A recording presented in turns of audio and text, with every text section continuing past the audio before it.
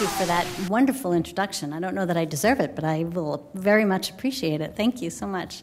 So, distinguished guests, it is such a pleasure to be here with you this evening. Um, really a pleasure for me. Um, I am so thrilled to be able to work together with you on the U.S. India relationship, which continues to astound me by its breadth and depth and deep, deep connections that we have between our two countries.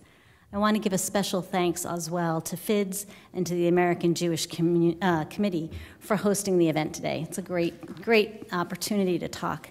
We've talked a lot about the US India relationship. I want to talk a little bit about the US India relationship bilaterally, but also a little bit more about multilateral and what we're doing together in the globe. So, as Deputy Assistant Secretary for um, India, I've been really able to see firsthand the growth of this relationship and how it has expanded, as I said, not only in the bilateral realm, but also within the multilateral setting. And that includes the Indo Pacific Quad that you heard about earlier, and also the Israel, India, UAE, and US grouping, fondly known as I2U2. And so I know my Israeli um, diplomatic friend mentioned it earlier and said he had some envy about Quad. I'm going to spend a lot of time talking about I2U2 as well, so he doesn't need to feel envious. As both President Biden and Secretary Blinken have stated, our partnership with India is one of our most consequential global relationships. We work closely with India on our most vital priorities increasing mutual prosperity, advancing democracy, addressing the climate crisis, and upholding a rules based order that is grounded in international law. The breadth of our relationship truly covers the entire spectrum of our foreign policy priorities from defense ties, economic and trade relations, security cooperation, the Indo Pacific Quad Partnership, from health to space to technology, and upholding democratic norms and principles. This is all underscored by our deep people to people ties, including a record number of Indian students who are currently pursuing higher education in the United States. During this year, we have seen continued engagement at the highest levels of our government, with Secretaries Blinken, Raimondo, Yellen, all traveling to India within the last few months alone. This demonstrates our shared commitment to expanding and deepening this partnership. As I noted, one of the growing areas of cooperation that I have had the privilege of seeing firsthand is really our cooperation with Japan and Australia in the Quad.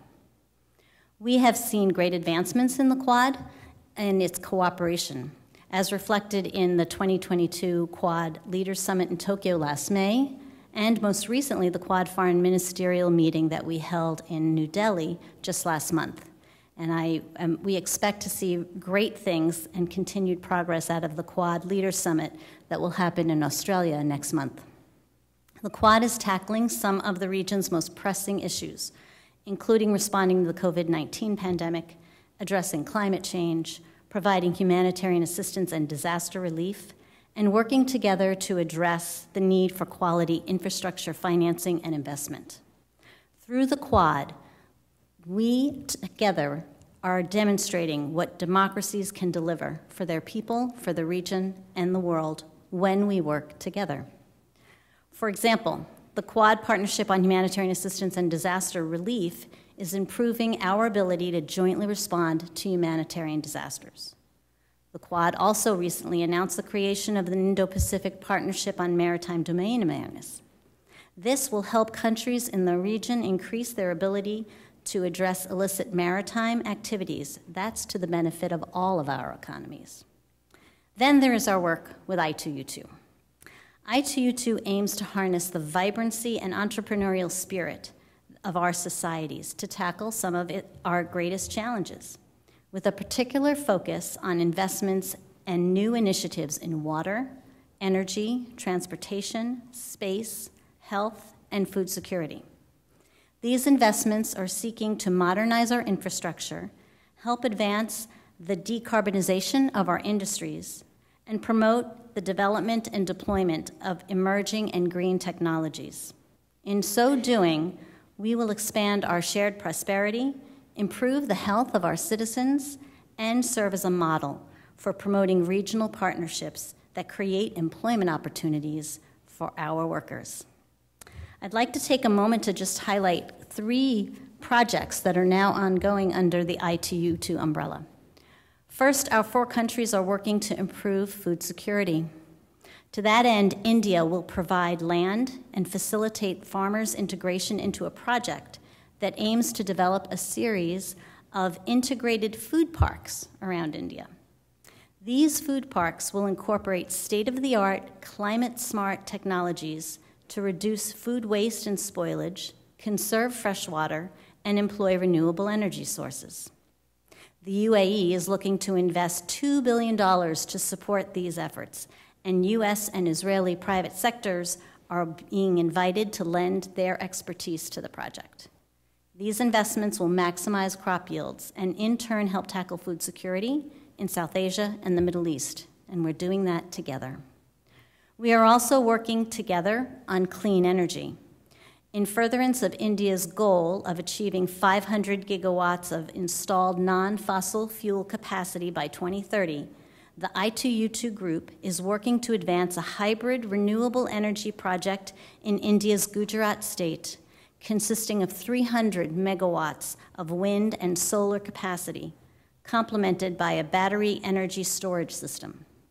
Third, in February, India became a partner in the Agriculture Innovation Mission for Climate, or as we like to call it, AIM for Climate. This joint initiative was launched by the US and the UAE to address climate change and global hunger by uniting participants to increase significantly their investments in and support for climate smart agriculture and food systems and innovations. Now, as many of you know, I cannot talk about the US India relationship without talking about the strong people to people ties between the US and India. It is one of my favorite topics. These ties, I believe, remain the bedrock of our bilateral relationship, and we are working further to strengthen those ties. We are so proud that there are over 400 million Indian Americans in the United States of America. We are so proud that there are over 200,000 Indian students that have decided to come to the United States to pursue a college degree. As Secretary Blinken has said, international education is a foreign policy imperative. As many of you know, we have faced a huge backlog of visa demand as we reopened our embassies and consulates around the world following the peak of the pandemic. Last year, our embassy and consulates in India broke all time records for the most student and exchange visitor visas issued in a year. We issued more than 125,000 student visas last year, and this year we are prepared to issue even more. We have dedicated significant resources to lowering appointment wait times in India, and we are seeing progress. All visa categories except first time visitor visa applicants have interview wait times that are close to pre pandemic levels or even lower in some cases. We're not resting on our laurels. We are actively working to keep bringing down those wait times. So, in closing, I would just like to say, as you can see, our partnership with India is a strong and growing one. I really want to thank all of you for all the work that you do to advance and support this important global relationship. This friendship between our two democracies is a global force for good in the world, as is our partnerships in the Quad and I2U2. Thank you so much for letting me talk with you tonight.